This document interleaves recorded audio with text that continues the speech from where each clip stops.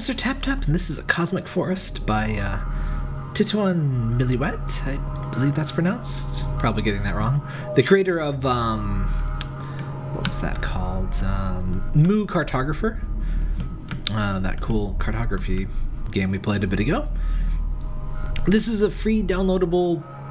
Um, I don't know what it is, um, and that's kind of why I played it. But um, it sure is something.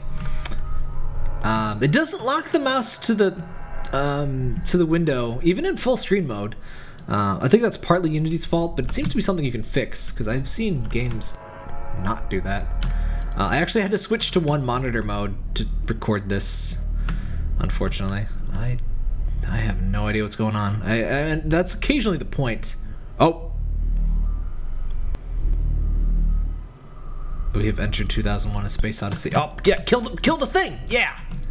Is that the is that the objective? I think. I think you got to shoot the, the the cube. Yeah, get out of here, cube. This is circle space now, punk. I think I'm circle. That's my, that's what my mouse cursor is. I'm just gonna assume this is you know, this is some kind of war between the cubes and the circles. Now I'm in fact the circle, which is the whoa. This is this is some really cool stuff, even if I don't understand what's going on. It's kind of my favorite thing. Like that's one of my kind of I, I don't know if you want to call that genres. Like I, it's one of my favorite experiences. Just something really unique and interesting. Um, not necessarily just like crazy and intentionally, deliberately wacky like Revenge of the Sunfish. Though I do really like Revenge of the Sunfish. That's kind of its own thing. This is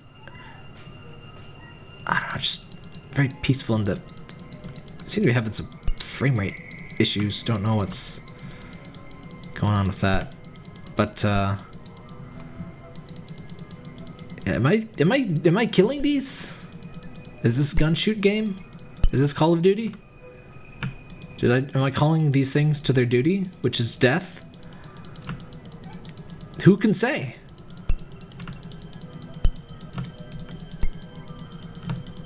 I'm going I'm going for the max combo though. Look at that.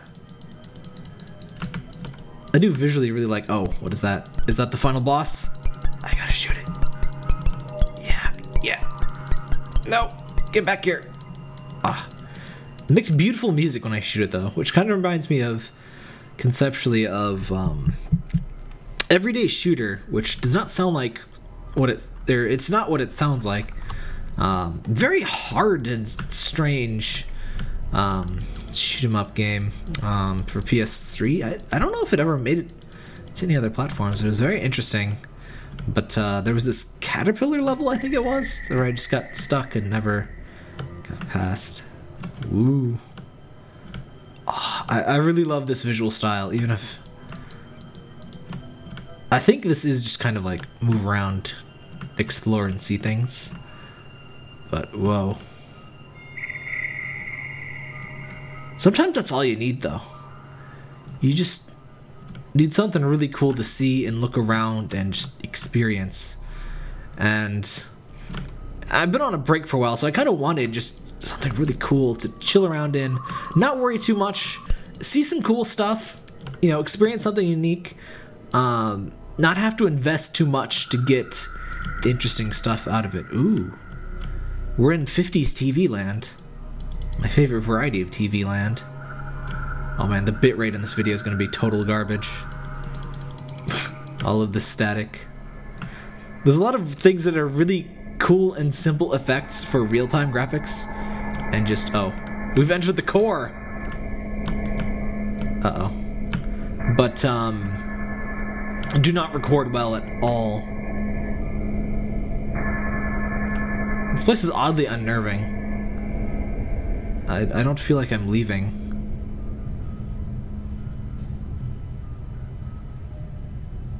Oh, this, is, this game does some really cool stuff visually with all of this stuff. Like, I'm not even particularly sure how some of the visuals are even made. Like, and it moves really interesting. Like, like there's no looking up and down, just all left and right, which might be how some of the visual stuff works. You know, might be a little. Ooh.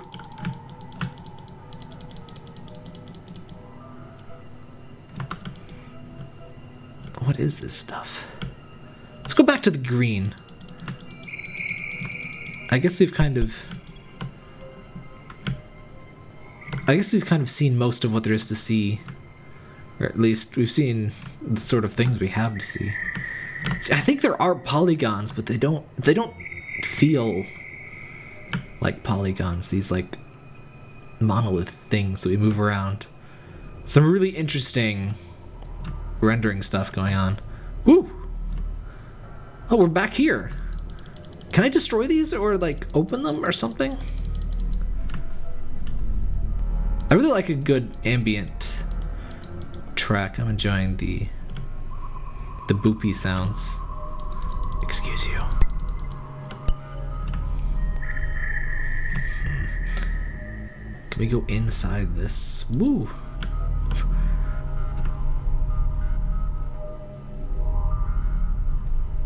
Of like a bamboo forest of like insane colors, and I kind of love that.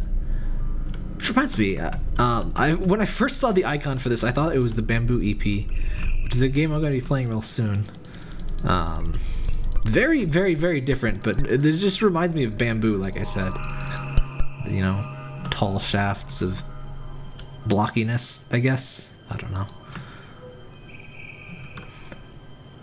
Yeah, that, that that that is this, whatever this is, and um, yeah, that was really cool and lovely. I, I just really like that, you know, gaming, especially with itch.io around and, you know, Game Jolt and Newgrounds to an extent before it, it's this place where you can just find really cool and strange and, you know, avant garde things. And, you know, poke around and you can support them, you can share them, um, you can make them and upload them, and, you know,